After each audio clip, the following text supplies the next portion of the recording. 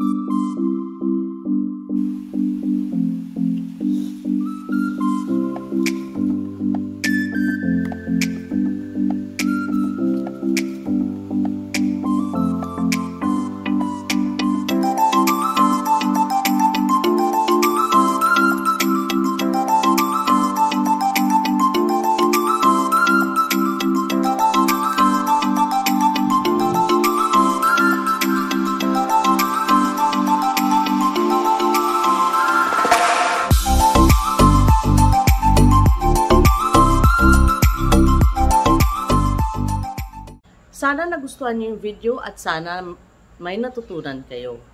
Tandaan natin, bago tayo magtapon ng mga bagay-bagay, isipin natin kung pwede natin silang i-recycle or i-reuse.